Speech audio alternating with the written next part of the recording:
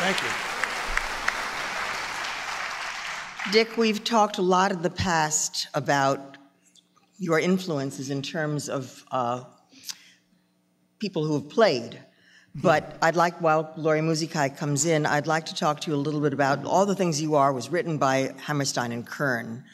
Um, but who are some of the composers? Who are some of the people? Because I was hearing Ravel in there. well, thank you.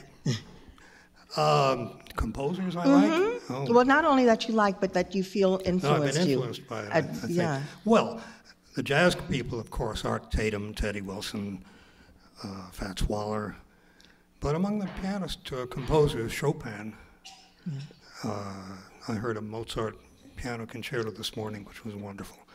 I think it was number eight. Um, piano composers appeal to me because they really know all about the piano. Us uh, jazz people are just beginning to catch on and catch up to them. Yeah, And you're and you were, of course, classically trained. And Mm-hmm. you, how much do you practice during the day? An hour or two. S- Still, Oh, yes, Well. especially still. what's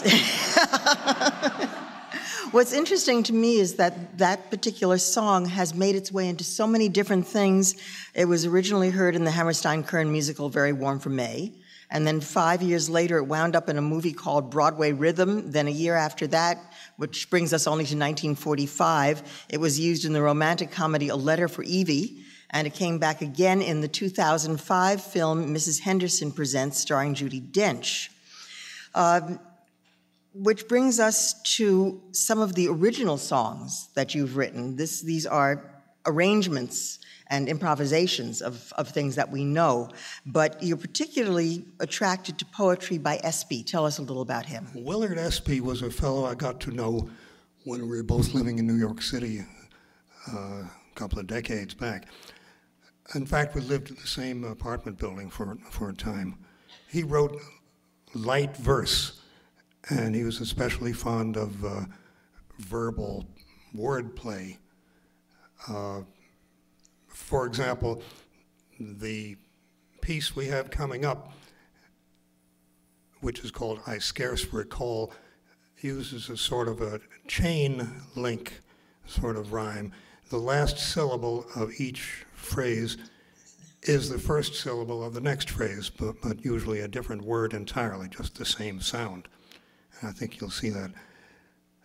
Uh, he did other things. He did all sorts of comic and witty things, and I tried to match him in the setting. They're comic and witty, but wait until you hear the way Dick has, has set the, this poem, particularly.